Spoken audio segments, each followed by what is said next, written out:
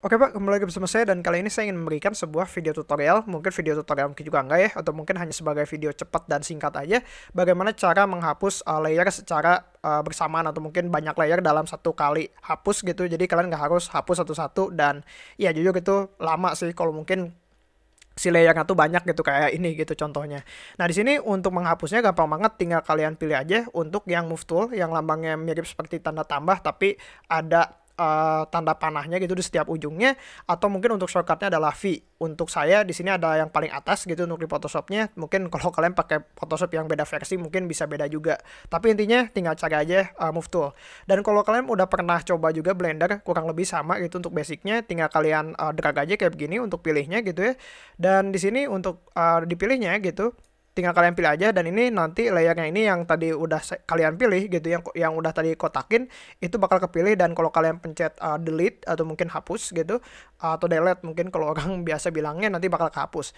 Nah, tapi uh, kalian juga mungkin tadi um, uh, merasakan gitu ya kok ada perbedaan gitu karena di sini backgroundnya untuk saya di sini memang uh, dipilih gitu ya. Jadi ikutan ke bawah gitu untuk backgroundnya. Dan ya kalau boleh saya saranin kalau kalian mau menghapus uh, misalnya yang ada backgroundnya gitu saya saranin backgroundnya kalian kunci dulu biar nggak kehapus gitu. Atau mungkin biar nggak bisa dipindahin lah ya. Contohnya kayak gini aja dan tinggal kalian hapus dan udah nanti bakal uh, hilang uh, atau mungkin ya bakal kehapus gitu layarnya. Dan ini uh, sangat uh, enak banget sih kalau saya misalnya ada layer yang banyak gitu. Kayak misalnya ada ada terlalu banyak X gitu. Jadi ini kan sebelumnya ini udah uh, kalau yang ini kalau yang ini udah saya edit gitu ya untuk uh, teks dari huruf uh, di kanjinya gitu. Tapi kalau misalnya saya uh, sebelum saya edit gitu ya ini biasanya X-nya terlalu banyak gitu. Jadi ini X semua gitu bukan huruf kanji kayak gini. Dan kalau X-nya terlalu banyak kalau di, di kalau dihapus satu-satu itu bakal lama. Jadi saya pilihnya uh, kayak begini aja gitu ya. Tinggal tinggal dipilih kayak gini. Dan kalau mungkin kalian misalnya yang baris uh, horizontalnya juga pengen dihapus juga. Jadi bukan yang ke bawah doang. Misalnya yang ini juga uh, kalian pengen hapus gitu. Kalian pengen hapus kayak gini dan ya tinggal kalian pencet shift aja gitu. Tinggal kalian pencet shift sebelum kalian drag mouse kalian gitu. Atau ya kalian uh, bikin kotak yang tadi. Itu adalah namanya drag gitu.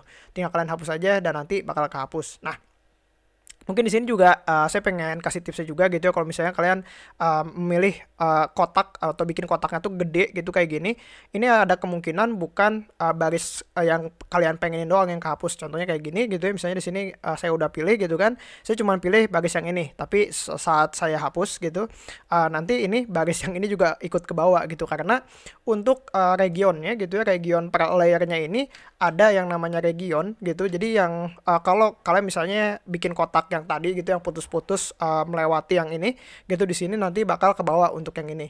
Jadi tips dari saya kalau kalian mau gitu kalian uh, pilihnya gitu ya saat kalian uh, selectionnya uh, kalau bisa sih setipis mungkin gitu misalnya segini gitu ya contohnya kayak gini dan nanti tinggal kalian hapus aja dan layer lainnya nggak akan uh, kena gitu untuk uh, untuk selectionnya gitu. Jadi contohnya kayak gitu. Dan udah sih gitu doang gitu untuk uh, cara menghapusnya uh, cukup gampang juga. Dan mungkin agak agak sedikit ribet juga sih kalau saya yang ngejelasin gitu. Dan semoga aja paham sih. Dan ya intinya cukup gitu doang. Tinggal kalian pilih aja untuk basicnya sama banget kayak Blender gitu. Jadi kalau ada multiple uh, objek tinggal di uh, pilih aja gitu semuanya. Tinggal dipilih kayak gini aja gitu. Dan nanti bakal uh, langsung bisa kalian hapus gitu.